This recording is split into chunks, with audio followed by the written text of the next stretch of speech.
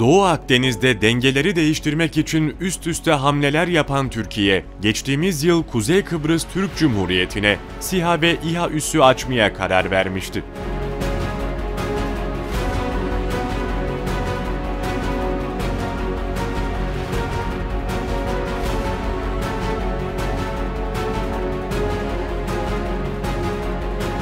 Kuzey Kıbrıs Türk Cumhuriyeti Bakanlar Kurulu, Geçitkale Havaalanı'nın tahsisi ve kullanım hakkının Kıbrıs Türk Barış Kuvvetleri Komutanlığı'na verilmesine ilişkin Türkiye ile protokol imzalamak üzere Bayındırlık ve Ulaştırma Bakanlığı'nı yetkilendirdi. Geçitkale Havaalanı'nın tahsisi ve kullanım hakkı için Kuzey Kıbrıs'ta Türkiye arasında protokol imzalamak üzere Bayındırlık ve Ulaştırma Bakanlığı'nı yetkilendiren karar resmi gazetede yayımlandı. Kararda şu ifadeler kullanıldı. Bakanlar Kurulu, iki ülke arasındaki mevcut dostluk ve kardeşlik ilişkilerini geliştirme amacıyla iki ülkenin silahlı kuvvetleri arasında askeri eğitim ve işbirliği faaliyetlerini geliştirmek maksadıyla hazırlanan ve Türkiye Cumhuriyeti Hükümeti ile Kuzey Kıbrıs Türk Cumhuriyeti Hükümeti arasında Geçitkale Havaalanı'nın tahsisi ve kullanım hakkının Kıbrıs Türk Barış Kuvvetleri Komutanlığı'na verilmesine ilişkin protokolün imzalanması hususunda Bayındırlık ve Ulaştırma Bakanlığı'na yetki verilmesine karar verdi. Gazi Mausa'da bulunan Geçitkale Havaalanı 1974 Kıbrıs Harekatı'ndan sonra Türk askeri tarafından askeri amaçlarda kullanılmıştı. Ercan, Uluslararası Havalimanı'nın bakım onarımda olduğu Eylül 2002 ve Mayıs 2004 tarihleri arasında ise sivil hizmete açıldı.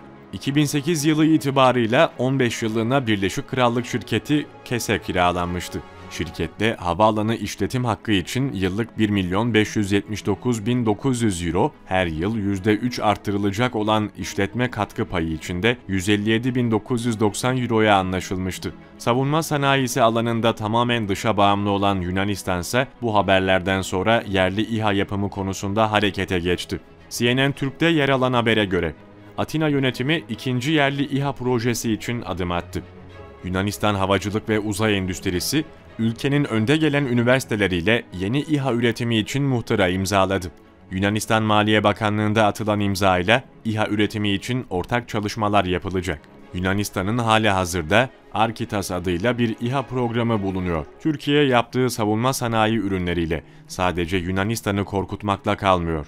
Tüm Batı'yı korkutuyor. Doğudansa Türkiye'ye büyük destek ve güven geliyor. Şu ana kadar Bayraktar TB2, Akıncı ve Aksungur tipi SİHA'ları tedarik ettiği bilinen Kırgızistan, son olarak Anka SİHA'da tedarik ettiğini açıkladı. Dairbek Arunbekov tarafından yapılan bu açıklamayla birlikte Kırgızistan, TUSAŞ ve Baykar tarafından üretilen bütün SİHA'lardan tedarik etmiş oldu. Arunbekov yaptığı açıklamada, Kırgızistan, TB2, Aksungur, Akıncı ve Anka gibi modern askeri teçhizatları satın aldı ifadelerine yer verdi. Bayraktar TB2 SİHA hali hazırda Kırgız ordusu tarafından aktif olarak kullanılıyor. Kırgızistan Milli Güvenlik Komitesi Başkanı Kamçıbek Taşiyev tarafından Ekim 2022'de yapılan açıklamada Akıncı tedarik edildiği de duyulmuştu. Ancak Kırgızistan'ın Anka ve Aksungur tipi SİHA'ları tedarik ettiği bilgisi ilk kez teyit edilmiş oldu. Anka tedariki daha önce TUSAŞ tarafından da açıklanmıştı. Henüz Kırgızistan tarafından Türkiye'den kaç adet SİHA tedarik edildiği bilinmiyor. 2022 yılı itibarıyla Türkiye'nin ihracat başarısı elde etmeyen SİHA platformu kalmadı. Türkiye halihazırda 30'dan fazla ülkeyle SİHA platformlarının ihracatına yönelik anlaşma imzalamış durumda. Kırgızistan bahsi geçen 4 farklı SİHA platformunu kullanacak Türkiye'den sonra ikinci ülke oluyor. Nijer Silahlı Kuvvetleri de askerlerinin hareket kabiliyetini ve operasyonel yeterliliğini geliştirmek için 100 yeni Kia KM450 ticari araç satın aldı. Söz konusu araçlar Nijer Milli Savunma Bakanlığı'nın öz sermayesiyle satın alındı. Nijer Silahlı Kuvvetleri Genelkurmay Başkanı Tüm General Salifou Modi ve çok sayıda üst düzey askeri yetkilinin eşlik ettiği Milli Savunma Bakanı Alkassoum Indatou, Nijer Silahlı Kuvvetleri Merkez Teçhizat Müdürlüğü binasında düzenlenen törenle Naimey'de askeri teçhizatı teslim aldı. Nijer, çeşitli terörist gruplarına karşı bu yeni araçlara ek olarak ülkenin karşı karşıya olduğu çoklu güvenlik tehditlerine yönelik özellikle dronlar, zırhlı araçlar, helikopterler ve savaş uçakları gibi başka askeri teçhizat siparişi verdi. Nijer ayrıca Türkiye'den Nurol Makina'ya Ejder Yalçın zırhlı araç siparişi verdi.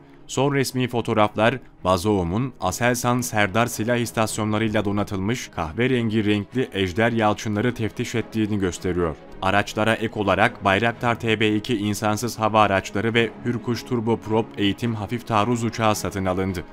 Son iki yılın Kasım ayında Türkiye Cumhurbaşkanı Recep Tayyip Erdoğan, Nijer'in askeri ve güvenlik güçlerinin kapasitelerini arttırmak için TB2 ve Hürkuş uçaklarını aldığını açıkladı.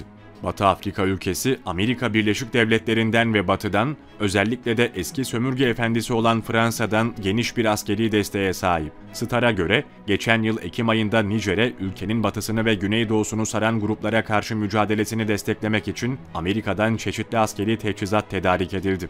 Bu arada herkesin talip olacağı milli muharip uçakta da güzel gelişmeler var. TUSAŞ Genel Müdürü Temel Kotil, TUSAŞ tesislerinde basın mensuplarını ve araştırmacıları ağırladı. Kotil, Milli Muharip Uçağın F-110 motorlarının TUSAŞ'ın uzman teknisyenleri tarafından 2 saat gibi kısa bir süre içinde takıldığını açıkladı. Kotil ayrıca Milli Muharip Uçağın ilk uçuşunu ise fotoğrafları paylaşılan geliştirme test uçağı prototipiyle gerçekleştireceğini belirtti. Milli Muharip uçakta kullanılacak olan yakıt sistemlerinin testleri de başarıyla tamamlandı. Uçakta kullanılacak hidrolik yakıtın testleri de başlandı. Milli Muharip uçaktaki iç sistemlerinden yakıt ve hidrolik hattı uçağın içine entegre edildi. Türk Hava Kuvvetleri ve TUSAŞ arasında imzalanan anlaşmaya göre 2029'da TUSAŞ'ın Milli Muharip uçak teslimatlarına başlanması bekleniyor. Geçtiğimiz günlerde TUSAŞ'ın düzenlediği CIO'ya sor etkinliğinde öğrencilerin sorularını cevaplayan Temel Kotil, Milli Muharip uçağın motorunun 25 Aralık akşamı takıldığını şöyle açıklamıştı. Teknisyen arkadaşlarımız Milli Muharip uçağın motorunu taktılar dün akşam. Motoru takan arkadaşlar F-16'ya 300-400 tane motor takmışlardır. Bu hiç kolay bir iş değil demişti. Temel Kotil, Milli Muharip uçağın F-110 motorları TUSAŞ'ın uzman teknisyenleri tarafından 2 saat gibi kısa bir süre içinde takıldı dedi. Temel Kotil, Milli Muharip uçağın hangardan çıkışı için 18 Mart 2023 tarihine hazır olunduğunu belirtmişti.